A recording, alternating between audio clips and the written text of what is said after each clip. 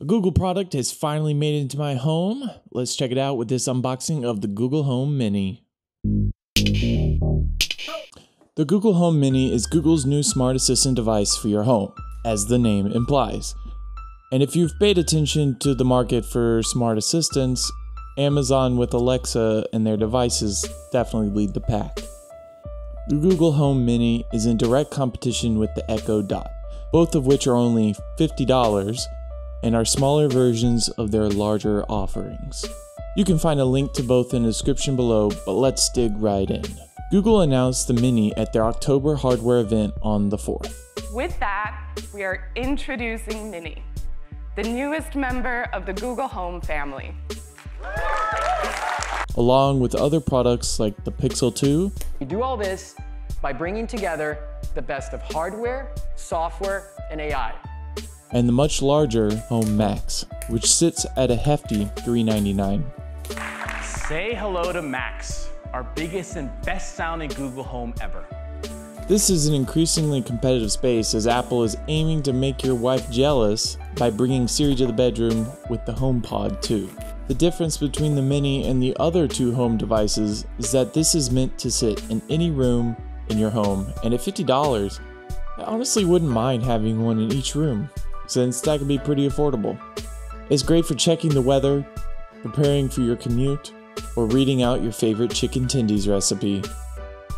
It's quite obvious though that this is not meant as a music listening device, with a much smaller speaker and no headphone jack, which the Amazon Echo Dot does not lack. This means if you want to hook it up to your stereo system, you need to spend another $35 on a Chromecast audio, which can be a pretty annoying hidden cost. Although audiophiles may not be impressed, minimalists and those who prefer something other than a smart talking hockey puck will be pleased with the gorgeous design, which comes in three colors coral, charcoal, and chalk, which is what I have here. It has a textile mesh wrapped over the top of this donut, hiding four LEDs beneath it, which are the visual indicators that Google is listening. Although, let's be honest, they probably always are.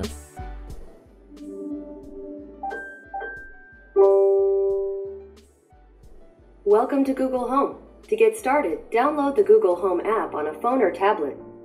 The setup is super simple and done through the Google Home app that you can get from your local app store. It's far better than Amazon's Alexa app, which I would consider a feat of ineptitude in application design.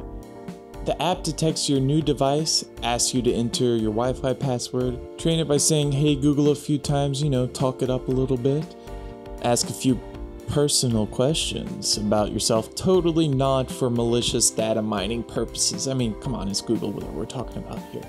Then apply any updates. After just these few screens, you're ready to tell Google your life story. Maybe tell them about the time you liked this video and subscribed. I don't know, just throwing that out there. Hey Google, play some music.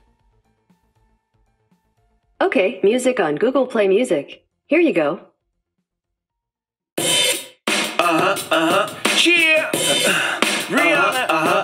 Good. That was like a knockoff version. That yeah. was Hey Google, how do you say nice to meet you in Korean? 만나서 반갑습니다. Hey Google, how do you say I like your boobs in Korean? 나는 너의 가슴이 좋아. Hey Google, what is the square root of 69?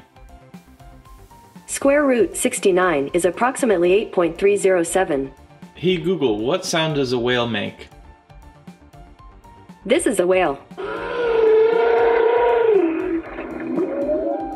Hey Google, how long would it take to visit every restaurant in New York City?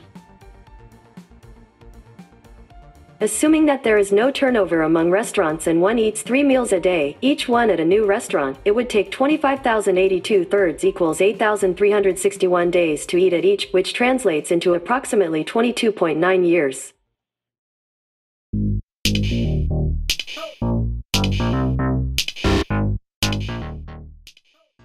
If you like this video, click that big old button right in the middle and subscribe. Also turn on notifications by hitting the bell icon.